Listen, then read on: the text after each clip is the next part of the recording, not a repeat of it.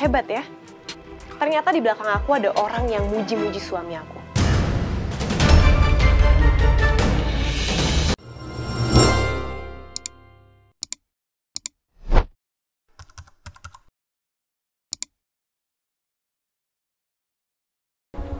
Ini sampai mau pesenin teh segala.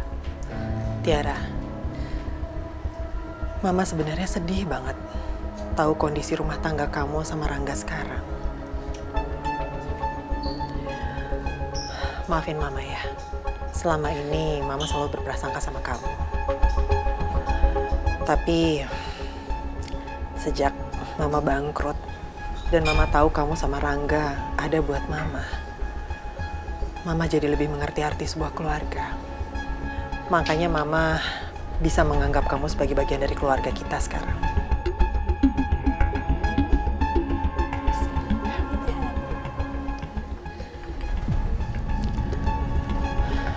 Kamu minum dulu ya.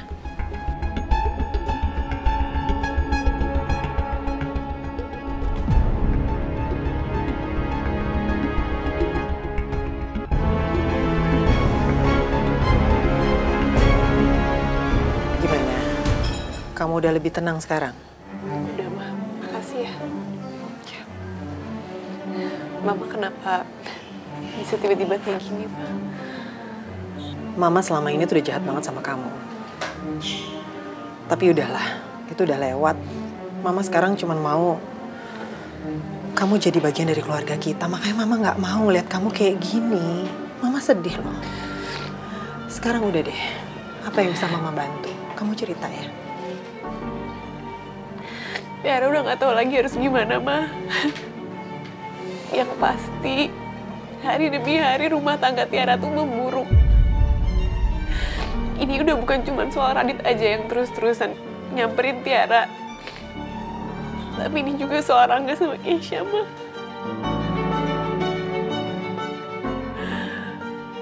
Rangga lebih percaya sama Keisha dibandingkan sama Tiara, Ma.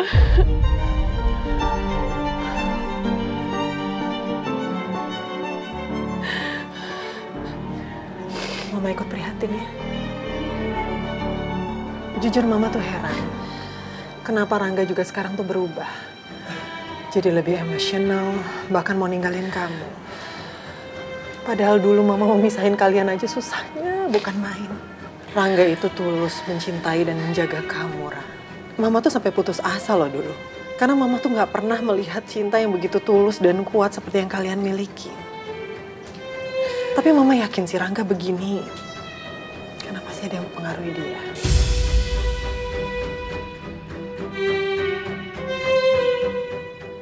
Akhirnya ada orang juga yang sampai mikiran sama Tiara, mah. Tiara juga mikir, mah. Pasti Rangga dipengaruhi sama Keisha, iya kan, mah?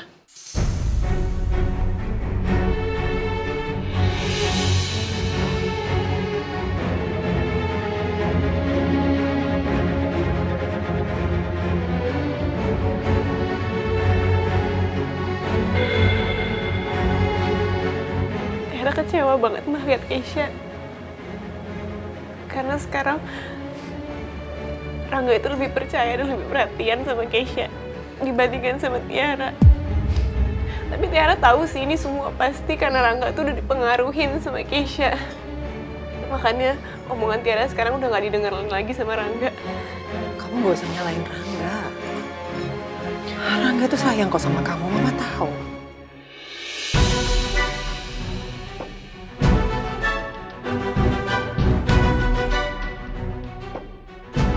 Bagus. Mama benar-benar puas bisa terus menggosok kamu, Tiara.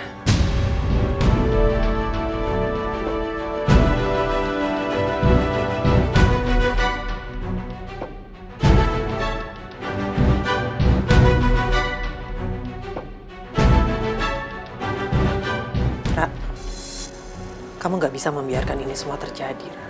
Kamu gak bisa diam aja ngeliat kayak gini. Kamu harus pertahankan rumah tangga kamu. Makin kamu diam, makin seenaknya Keisha menginjak-injak harga diri kamu. Dan dia dengan mudahnya masuk ke rumah tangga kalian. Dan kamu makin tersingkirkan.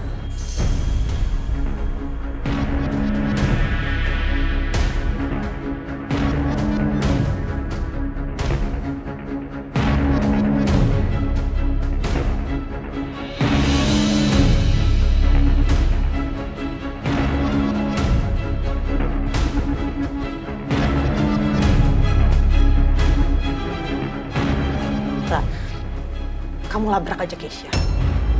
Tunjukin kalau kamu punya power.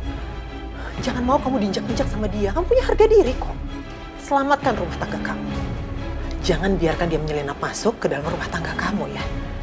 Ini semua buat rumah tangga kamu. Buat Arka juga. Walaupun Arka masih kecil, tapi dia nggak akan mau lihat orang tuanya terpisahkan.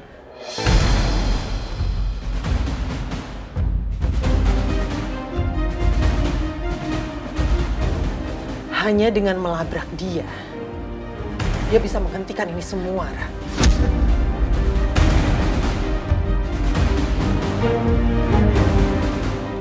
Kamu pasti bisa, Ra. Ayo.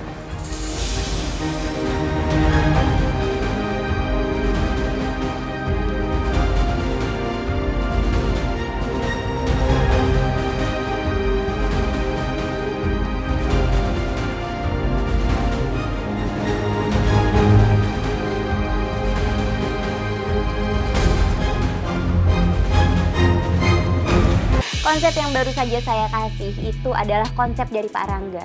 Saya juga sama loh. Pertama kali saya baca, saya kagum sekali. Karena ide yang Pak Rangga kasih berbeda dari yang lain.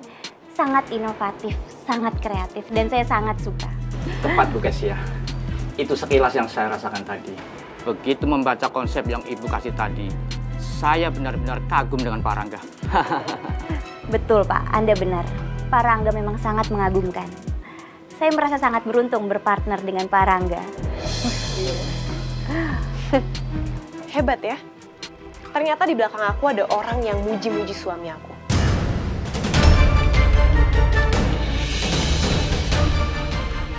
Sekarang aku harus terima kasih sama kamu karena udah muji Rangga. Atau aku harus cemburu karena kamu mau ngerebut Rangga dari aku.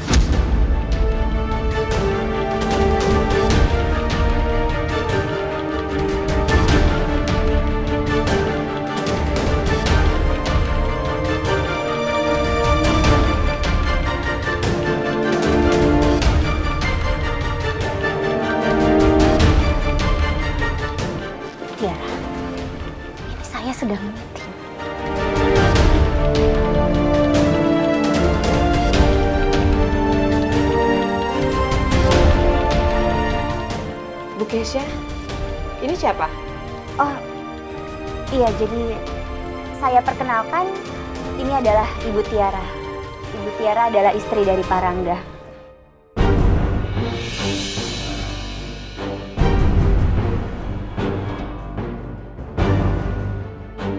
Istri Pak Rangga. Tapi kenapa dia bicara seperti itu ke ibu? Ah, dia nggak tahu ibu mitra suaminya. Tiara, Tiara. Apa dia nggak sadar yang dia lakukan ini bisa-bisa malah micu keributan lagi? Padahal gosip sebelumnya soal aku dan Rangga aja belum reda. Sekarang dia malah mau memperburuk keadaan. Kenapa aku jadi ngerasa kalau dia sepertinya sengaja datang ke sini untuk buat keributan dan mempermalukan aku ya? Ini nggak benar.